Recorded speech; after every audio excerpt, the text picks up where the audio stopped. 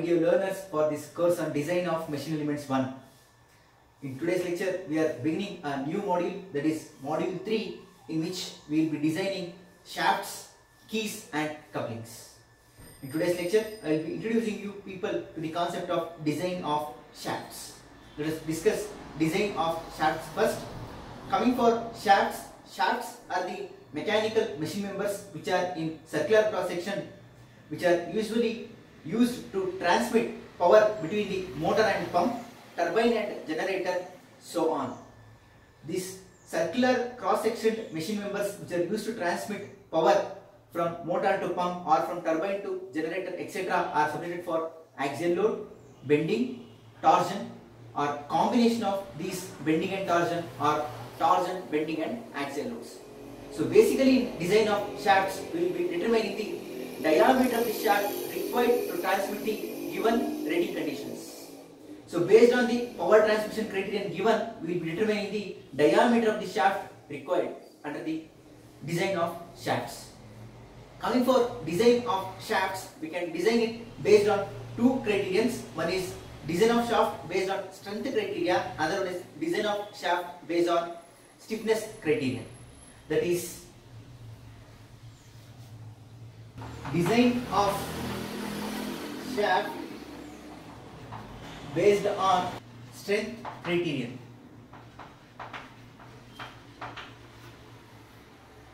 In case of design of shaft based on strength criterion, the torsional strength is defined as the torque per unit maximum shear stress. According to design based on strength criterion, the maximum shear stress induced in the shaft should not exceed the allowable or permissible value. According to this design based on strength criterion, we will be determining the diameter of the shaft using the torsion equation mt by jp is equal to tau by r.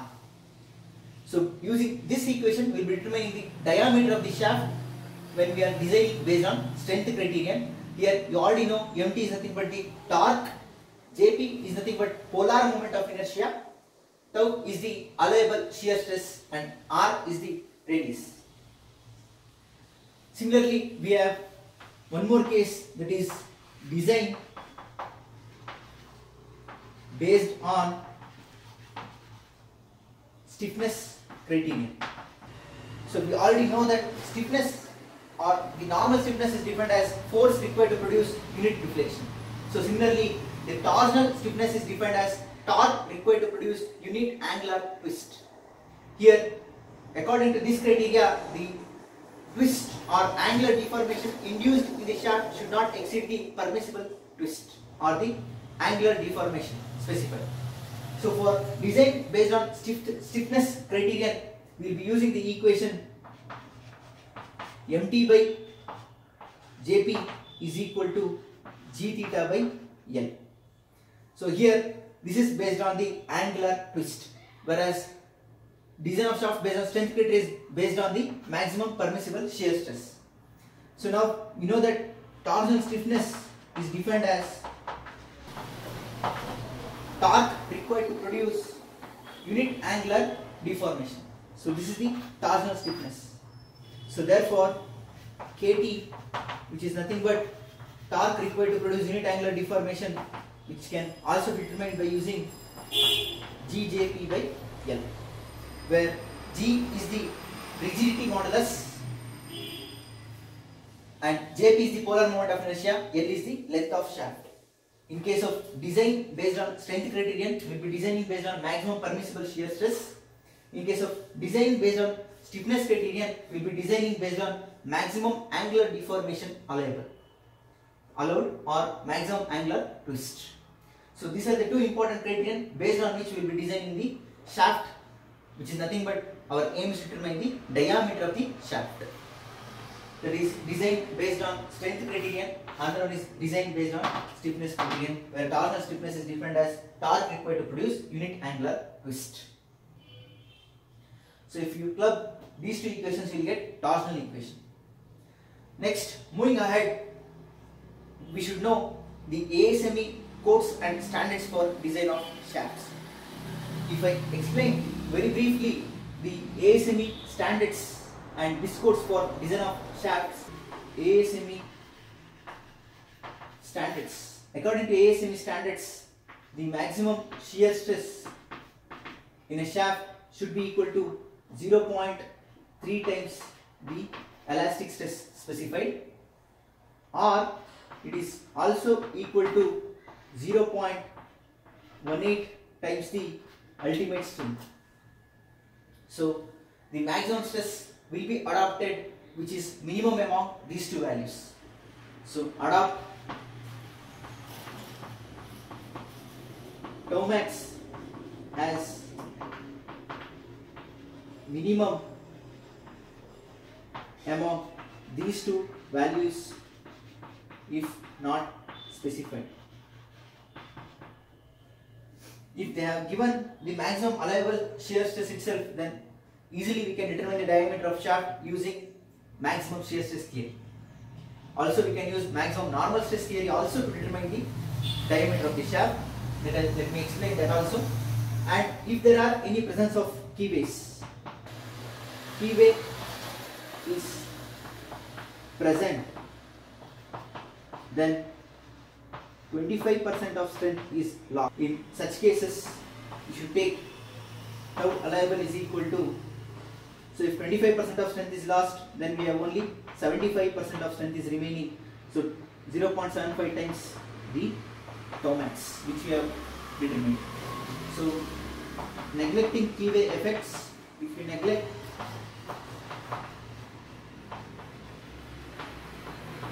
keyway effects then tau allowable will be equal to tau max. So, so based on these prior knowledge, we will determine the allowable shear stress that is permissible for the given conditions of power transmission based on which will determine the diameter of the shaft.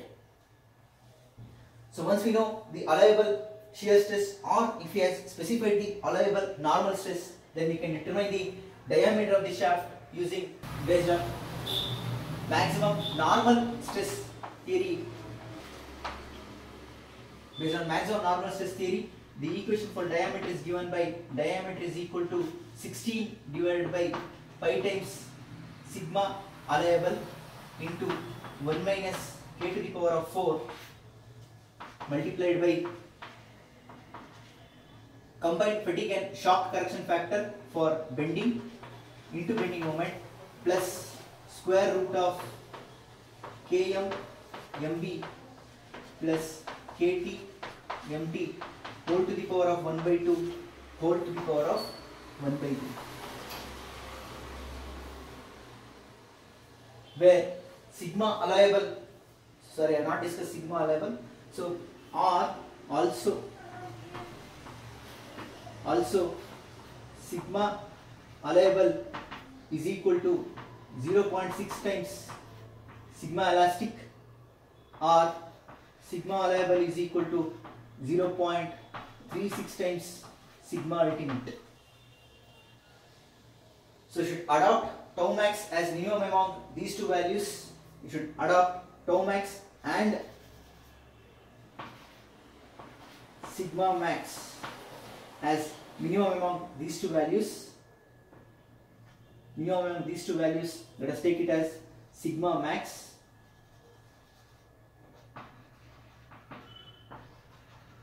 according to ASME standards.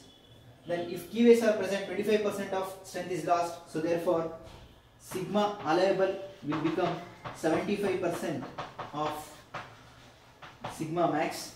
If you neglect the keyway effect, you will get sigma allowable is equal to sigma max. If sigma max or sigma allowable is not specified, then use these cases. That is 0.3% of tau elastic, 0.18% of sigma ultimate. Also, sigma max is equal to 0.6 times sigma elastic or 0.36 times sigma ultimate. Adopt the minimum value among these. Now, based on maximum normal stress theory, you know the value of allowable stress if keyways are present. If keyway effect is neglected, you know the allowable stress value where k is where k is equal to inside diameter by outside diameter which is nothing but diameter ratio whose value is equal to 0 for solid shaft. K is equal to 0 for solid shaft. Next, coming for bending moment and torque, we should calculate whereas Km and Kt are Km and Kt are combined shock and fatigue factors for bending and torsion.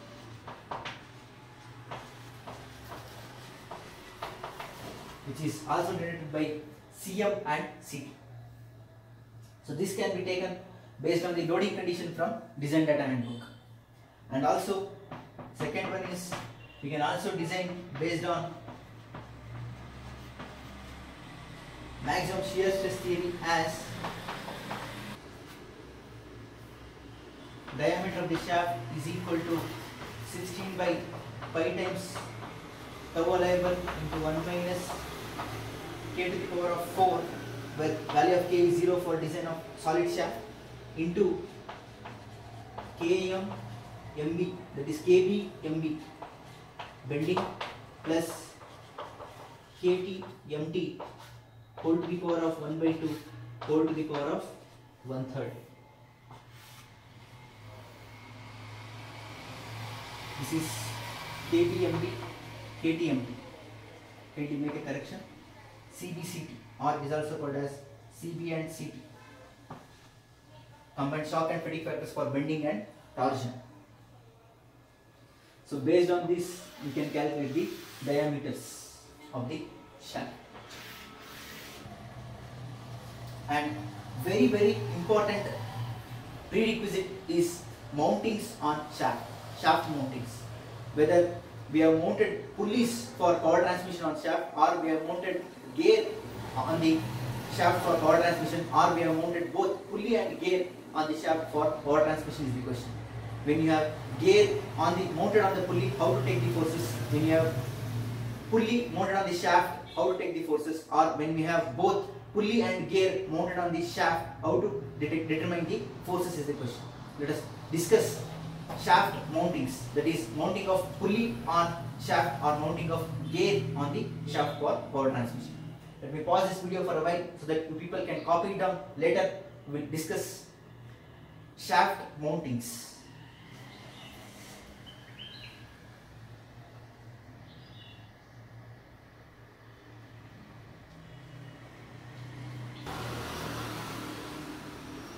Next, moving for shaft mountings. Coming for shaft mountings, will be mount either pulley or gear on the shaft for power transmission. First, let me discuss if we have mounted pulley. So, first case, forces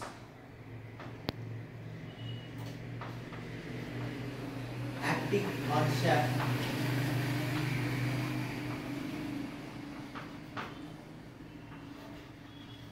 due to belt drive.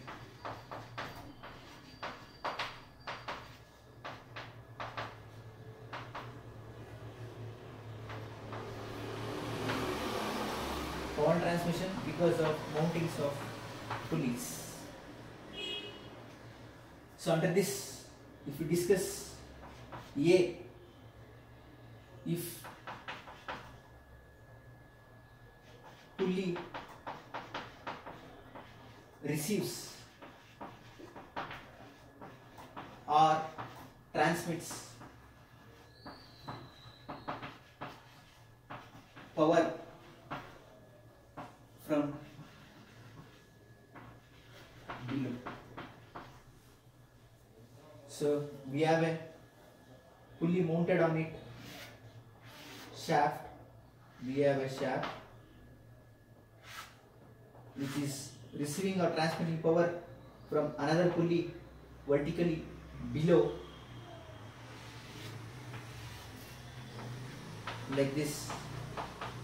Then the tensions T1 and T2 nothing but tension tight side and tensioning slack side. So in such cases we will indicate the force acting as T1 plus T2 plus W2. So therefore total force acting will be vertically downwards whose magnitude will be equal to T1 plus T2 plus weight of the pulley. Second case, so this is a shaft to be designed. Shaft to be designed. Similarly, if I have a case in which if pulley receives or transmits power from vertically ये वो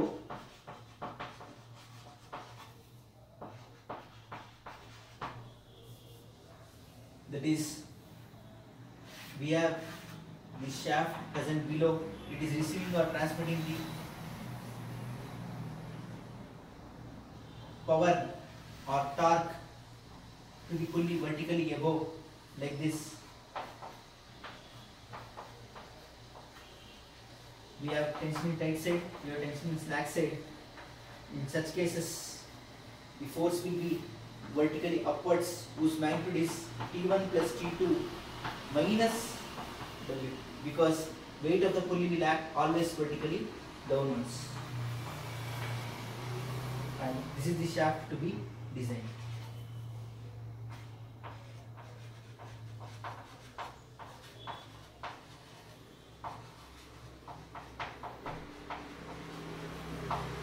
This is a shaft to be designed whose load is acting vertically downwards whereas the tensions are acting vertically upwards. So therefore the resultant force will be vertically upwards acting on the shaft whose magnitude is tension the tight side plus tension the slack side minus weight of the pulley.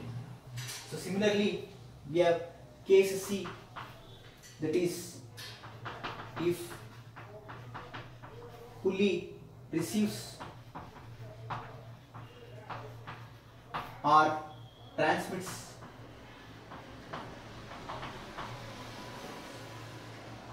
power. Horizontally.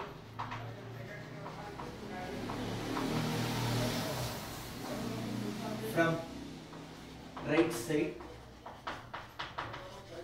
In such cases we have pulley to be designed which is transmitting and receiving power from horizontally towards right side let us say like this. This is the shaft to be designed on which we have a pulley mounted which is receiving or transmitting power horizontally from right side. In such cases we have tensions T1 and T2 whereas weight of the pulley will act vertically downwards. So therefore the resultant force will be 2 one is vertically downward it is weight of the pulley another one is horizontally to the right that is T1 plus T2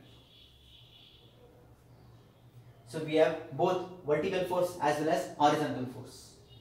Next coming for D that is if pulley receives or transmits power horizontally from left side. That is we have shaft to be designed on which pulley is mounted and we have one more pulley here for which we are transmitting or receiving the power like this. We have tension the tight side T1 side tension T2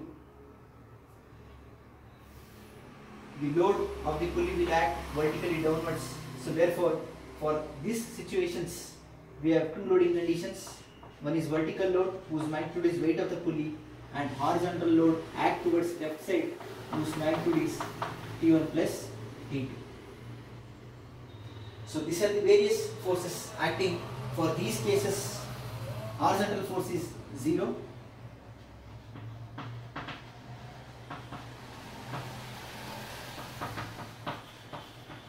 only we have vertical force. For this case also horizontal force is 0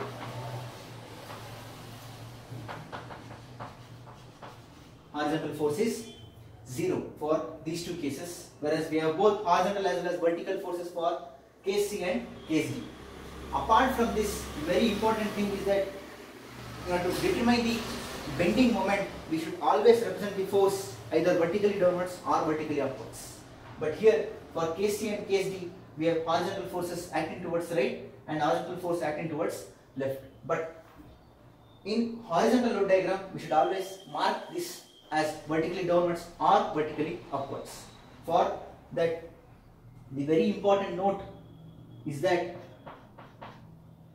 if horizontal load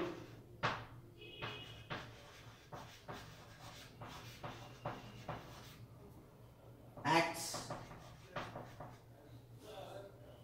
away from the observer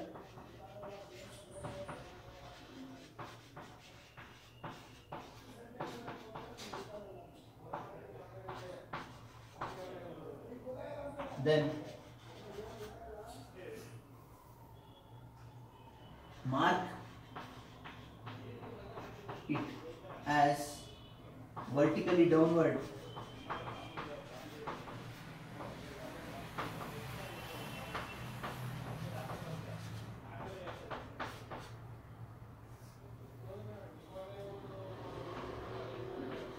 in horizontal load diagram. HLD stands for horizontal load diagram. So what I mean to say is that if I look at this forces acting from left side, T1 plus T2 is acting away from my eyes. It is acting towards right side, it is moving away from me. So therefore I should mark it as acting vertically downwards in horizontal load diagram. If I look at these force in case D, T1 plus T2 is acting towards me. So therefore it is acting towards the observer. I should show it as vertically upwards in horizontal load diagram. So contrary to which if horizontal load acts towards the observer if horizontal load acts towards the observer then mark it as vertically upwards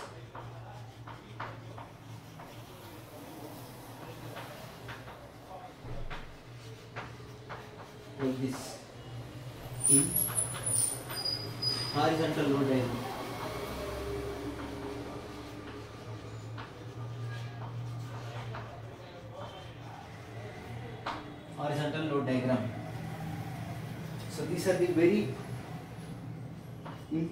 two notes which student will usually get confused how to mark horizontal loads in the horizontal load diagram. So keep this in mind.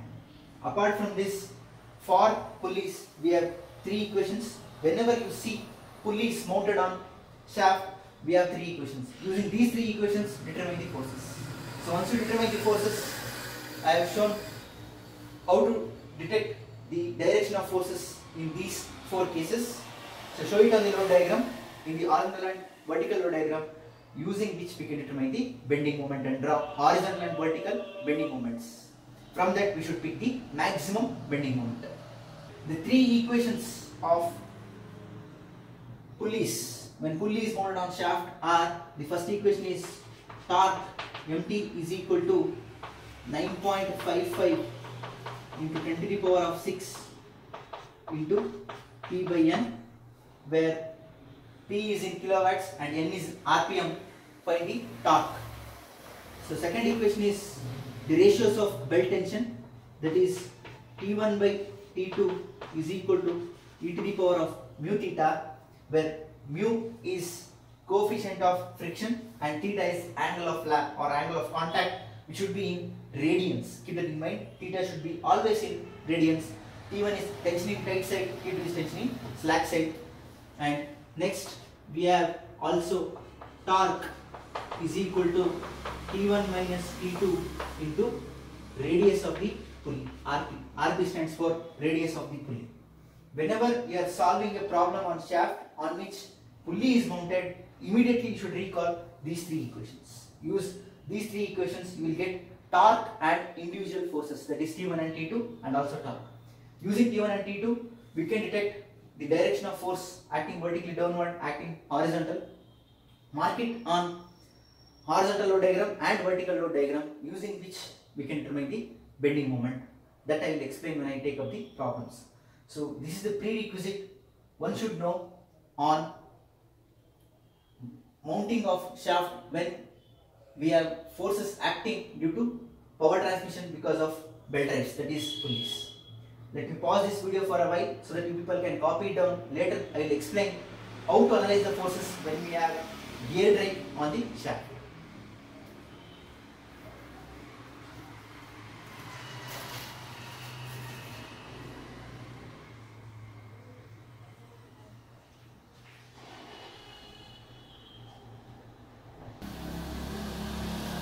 Next, moving for second shaft mountings that is forces acting on shaft due to belt gear drive.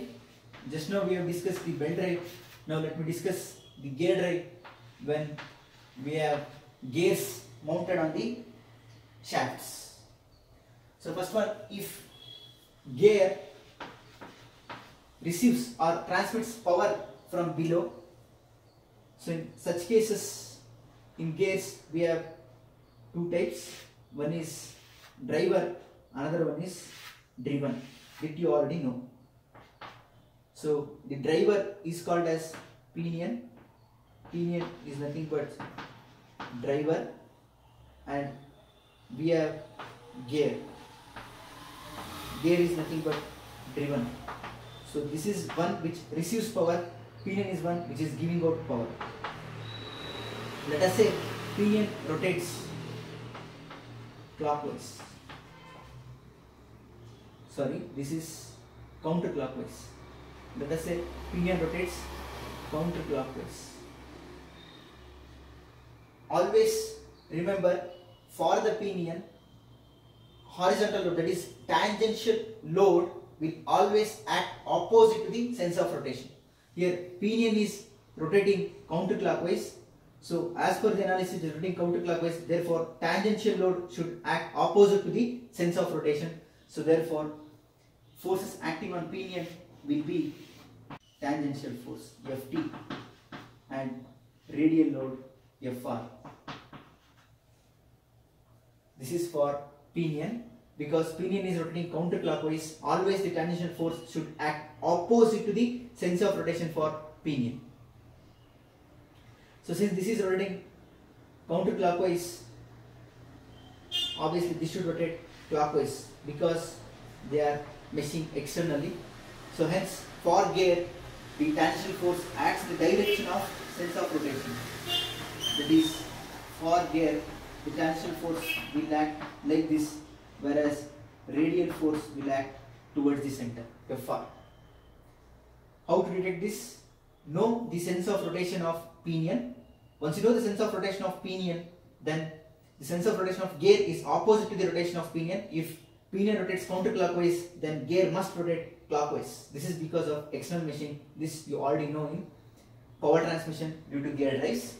So now coming for the tangential and radial load acting, the tangential load will always act opposite to the direction of rotation in case of pinion, whereas it acts always in the direction of rotation for gear, whereas the radial load acts towards the center from the circumference. So like this. So now this is for pinion and this is for gear. Contrary to which you can also take clockwise rotation of pinion. If pinion rotates clockwise, if pinion rotates clockwise, then tangential load should act towards right side for pinion and towards left side for gear. Hope the concept is clear. Always determine the sense of rotation of pinion. Then mark the tangential load in the direction opposite to the sense of rotation. Here it is rotating counterclockwise, so therefore tangential load should act opposite to the direction of rotation. I have marked the tangential load. Then for gear, the tangential load will always act in the direction of sense of rotation. So clockwise rotation in the same direction I have marked the tangential load, whereas radial load will always act towards the center. If pinion is mounted on the shaft, then consider this as the loading conditions and the direction of load. If gear is mounted on the shaft, then take this as the loading condition. So based on whether pinion or gear mounted on the shaft, you should consider the loading conditions. Next, if we have gear receives or transmit power from vertically above, so same case will be there. The case remains same. Now to explain this, let me consider since I have taken counterclockwise pinion, let me take clockwise pinion now.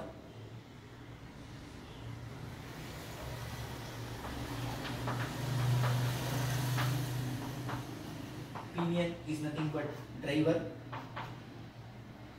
So due to external meshing, this should rotate counterclockwise. As I said, for pinion, since it is clockwise rotation, for pinion, I should mark opposite to the direction of rotation as the direction for tangential load. It is clockwise, so opposite to that I should mark. So it is Ft and radial load always acts towards the center, Fr. So for gear, the tangential load will be in the direction of rotation itself and radial load acts towards the center. So this is gear and this is pin. Based on what is mounted on the shaft, we will take the direction of loads. Next, if gear receives or transmit power horizontally from right side. So in such cases, we have arrangement like this. Let us say this as pinion and this as gear. And consider clockwise rotation for pinion. Obviously the gear should be counterclockwise. So in these cases for pinion we will be having for pinion at the point of contact we should always mark the tangential load at the point of contact if I mark the tangential load I should mark it opposite direction of rotation for pinion so therefore pinion is rotating clockwise. I should mark it as opposite to that. So hence forces acting on pinion will be vertically upward is the tangential load. Ft horizontally inward will be the radial load. For gear it will become in the same direction. It is vertically downwards that is Ft and horizontally inward will be Fr for gear based on whether pinion is mounted or gear is mounted on the shaft we will take the direction of these loads. So similarly if I have gear receives or transmit power horizontally from left side. So same condition let me take the case as counterclockwise pinion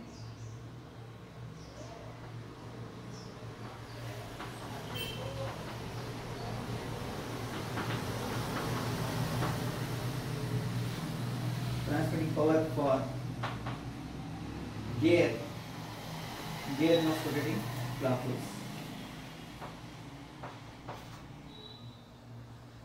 first mark the forces for pinion so for pinion the forces will be opposite to the direction of rotation. So therefore it should be vertically downwards. And Fr will act towards the center. For gear, you should take the same direction of sense of rotation. So therefore it is FT FR will act hmm. so whether we have gear mounted on the shaft or pinion mounted on the shaft depending on that we will take the direction of loading cases so this is very very simple but student will get confused. The catch in the analysis of force acting due to gears is that identify the pinion identify its sense of rotation. If you identify the pinion and its sense of rotation you know the direction of ft tangential load. Tangential load for a pinion acts opposite to the sense of rotation. Mark ft for that. And tangential load acts in the direction of sense of rotation for gear mark ft for that. Fr will always acts towards the center. Knowing which I know the directions of fr and ft which I can mark in the horizontal and vertical load diagrams. Now with this very brief introduction to shaft mountings and another very important point is that we'll mark the horizontal load acting away from the observer as vertically downward in horizontal load diagram acting towards the observer is marked as vertically upward in the horizontal load diagram whereas vertical load should not have any confusion. Apart from this if he has given the load of the gear very important load of the gear will always acts vertically downward always keep this in mind.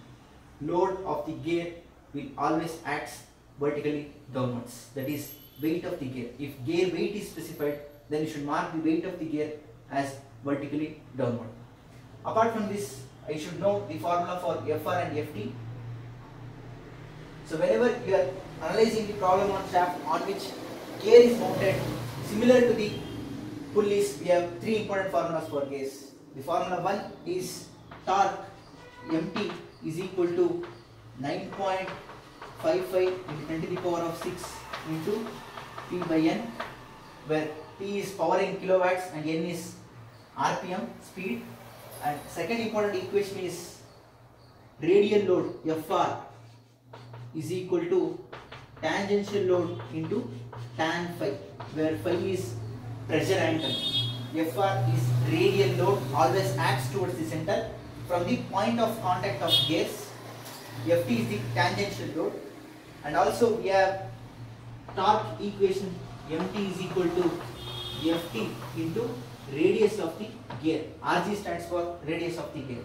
Ft into radius of the gear is the formula for torque.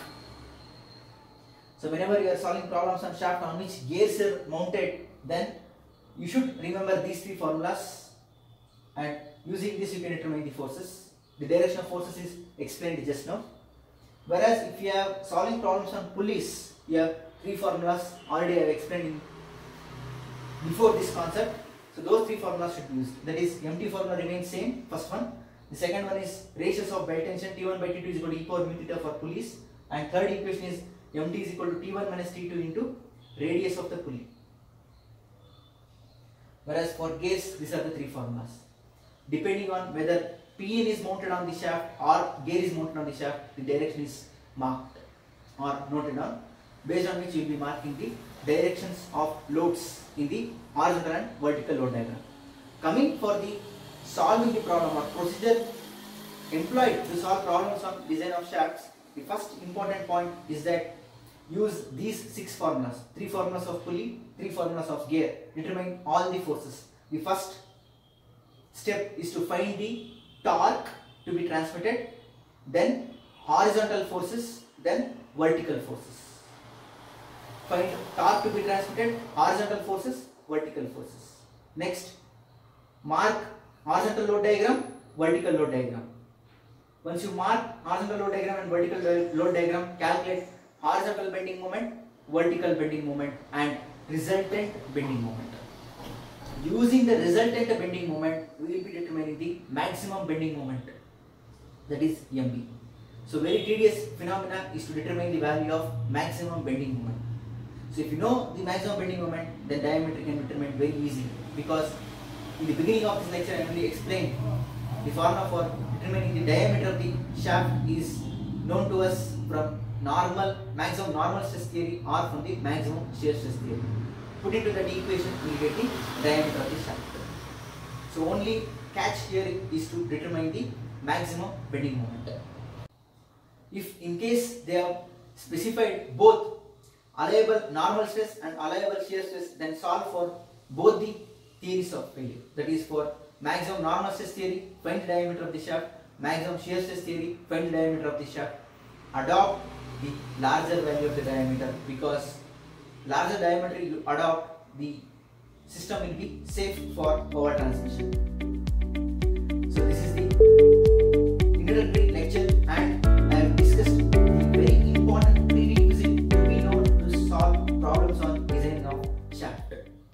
Hope the lecture was clear and people have understood these prerequisites. That's all from this lecture. Thank you all.